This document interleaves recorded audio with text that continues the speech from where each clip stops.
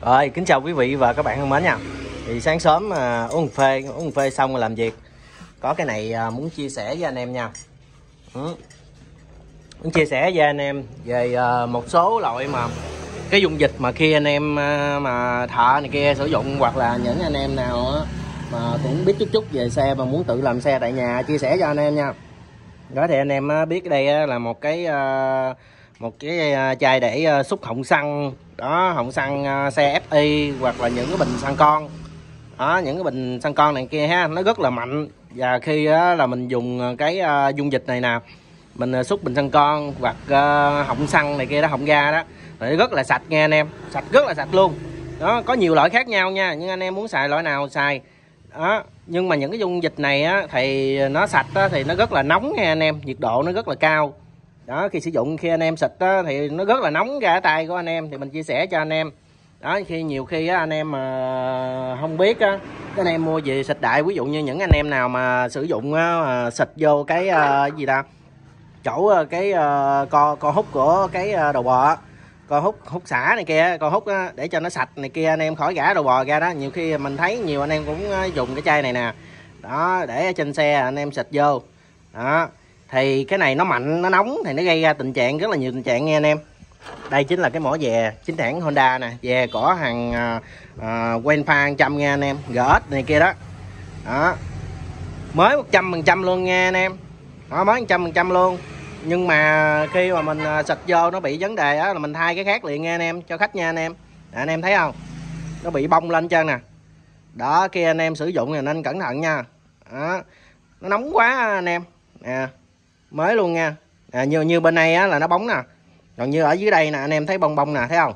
Đó là tại vì khi mình xịt cái nó bị văng lên á anh em. Đó như gì á là thay mới lại cho khách chứ đâu có sơn này kia được. Đây chính hãng Honda luôn nè anh em thấy không? Honda luôn. Đó mới trăm phần trăm chưa dính xịn luôn là nghe anh em. Chỉ bụi thôi. Đó. Nè thấy không? Đó tác hại của nó nha. Nhất là ba cái giữa nhám này nè. Đó rồi bây giờ là mình ờ, tại vì mình gặp phải rồi mình mới ờ, chia sẻ cho anh em nào mà không biết ha. Là khi anh em á là à, xịt đó là phải lấy cái nồi lao này kia nồi vẽ này kia đó anh em á là chặn lại.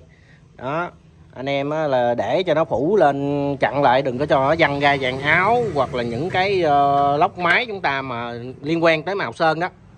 Đó đây là một cái uh, sơn một cái gạt te thường anh em gọi là hộp sơn đó. Gin nha, nước sơn gin nha. Đây nè, lấy ngón ngón tay ha, anh em trà nè. Trà cỡ nào cũng không ra cho nha anh em, nước sơn gin. Đó, nhưng mà khi anh em xịt á thì gắn cái cái này đi vô phải không? Nhưng mà khi anh em xịt vô cái ví dụ như là cái con hút của cái đầu bò đi thì nó cũng có một cái uh, lượng nó bắn ra, nó bắn ra từng giọt gì đó. Đó thì ờ, nếu mà nó dính vô nước sơn hay vàng áo thì nó sẽ bị bong lên nghe anh em. Đây. Anh em thấy mình mới thử ha, mình vào nó không ra sơn phải không? Giờ mình thử cho anh em xem nè. Đó rồi anh em đợi tí xíu rồi anh em xem nè. Anh em đợi chút xíu nó khô ha. Đó. gây ờ, nếu mà những cái ờ, mà mỏ dè giống tương tự giống gì đó ở sau đuôi thì đương nhiên nếu anh em mà xúc những cái dòng xe ví dụ như anh em mà xúc kim phun họng ga nè có những GSX uh, ờ, FI này kia đó. Nó những à, chiếc ờ, quay đó gỡ FI này FI này kia, phải không? Anh em xúc họng ga kim xăng ờ, kim phun ở ngoài, phải không? Thì anh em thấy cái co hút của cái ờ, mà cái họng ga đó, co hút ở dưới đầu bò thì nó bị dơ, anh em nhìn vô, phải không? Thì anh em chỉnh ngay tăng. Thì bắt đầu anh em xịt vô đó, xịt vô đó thì nó có một lượng, đó, một lượng dung dịch này nè. Nó sẽ dằn ra. Không phải dung dịch này không nha, trên thị trường rất là nhiều mà dung dịch xúc kim phun họng ga nó cũng tương tự vậy nghe anh em, nó mạnh thì luôn lúc nào á là nó cũng phải nóng hết trơn á đó thì nó sẽ văng ra giống gì? Cái này là văng ra này nghe anh em chứ không phải là xịt trực tiếp nha anh em. À, anh em thấy không? Đó coi như là mỗi già này đi đời đó chỉ có sơn lại thôi. Đó. Rồi bây giờ mình trở lại với gạt te này ha cái hộp sơn này ha. Hồi nãy mình vào không ra phải không? Giờ cho anh em xem nha. Đó anh em thấy gì không? Nhưng mà để lâu một hồi á là nó sẽ bông lên luôn. Nó bông chốc lên luôn chứ không phải nó gì nghe anh em. Đó chứ không phải gì nha. Ở đây anh em xem nè như cái chỗ này nè. Nước sơn này là zin 100% nha anh em. Đó, nó mà nóng lên là bông lên là khó chịu lắm. Chứ không phải ấy đâu, anh em nè thấy không? Hồi nãy mình lấy móng tay mình mình quào. Mình quào mà nó không ra mà giờ anh em thấy nè. Mà hồi nó sẽ bông lên thấy ghê lắm. Đó, như chỗ này nè, thấy không? Nè, anh em thấy không? Nè, thấy không? Đó. Cái này là cái gạt te hộp sơn này là nước sơn gin chưa sơn luôn nha anh em. Đó, theo xe nhưng mà nó bị hư cái này nó là thay đó, anh em thấy không? Tác hại của nó không? Còn như ở thằng này nè vào đâu lên đâu. Vào cỡ nào cũng đâu có lên đâu. Đó. Bởi vậy khi anh em mà sử dụng những cái dung dịch này, thì tránh xa chiếc xe khách của anh ta ra, hoặc là anh em làm xe nhà tránh xa ra nha anh em. Cũng thôi là gây tình trạng giống gì á là hư xe hoặc là đền cho anh ta nha anh em. Nếu mà xe nhà thì gã ra đem đi sơn sơn lại còn nếu mà xe khách là chỉ có mua cái mới đền thôi chứ không còn cách nào chứ nghe anh em. Đó vào cái nước sơn ra luôn nè anh em thấy không? Lúc đầu mình vào đâu ra đâu nè thấy không? Đó. Anh em mà để một thời gian nữa bắt đầu là nó bông lên thấy gớm lắm. Nó tẩy sơn. Đó, bởi vì khi anh em sử dụng sử dụng á, thì tránh xa chiếc xe ra. Như ba cái nước sơn này á là đồ bóng phải không? Đó đồ bóng này kia xịt đó thì nó còn đỡ còn nếu mà anh em mà trúng ba cái ờ, mà nhựa nhám giống gì nè là bỏ luôn nghe anh em. Đó. À, anh em thấy không? Cái này á, là không phải là à, nước sơn hay là gì là do cái này vô nghe anh em. Cái này là mới 100% mua trong hãng ra nghe anh em. Trong hãng ra thay ai xong rồi bắt đầu mình thấy là cái uh, cái uh, gì? Cái họng ga ủa cái họng ở trong cái con hút á nó bị như vậy nên là mình xịt thì lúc xịt đó thì cái cổ để quay quang gì nè? Cái cổ xe để quay quang gì? Đó quay quang gì thì mình xịt vô chổng là nó văng lên. Nó văng lên thì gây ra tình trạng gì nè anh em thấy không? Nó ghê luôn. Xịt trực tiếp vô là chắc tiêu luôn quá đó, xịt thử cho anh em xem nè. Đó, lúc lúc xịt là nó văng lên bên đây anh em thấy chưa gì chưa phải không? Lúc xịt đó là mình xịt là mình có gắn cái ống kia vô phải không? Cái ống màu đỏ này vô thì khi xịt vô cái họng ờ, của cái đầu bò là nó sẽ có ờ, những cái giọt li ti nó chăng ra. Đó. Cái này là xịt trực tiếp rồi. Nó văng ra mấy gây ra tình trạng bong bong bong bong. Nha anh em, đây, thấy không? Anh em thấy gì chưa? Đó, mới vô là có dấu hiệu rồi đó, anh em thấy không? Đó. Không, zin 100% của Honda luôn nghe anh em. Đó, anh em thấy nè. Gì là sao? Gì là bỏ luôn rồi. Đó. Thấy không?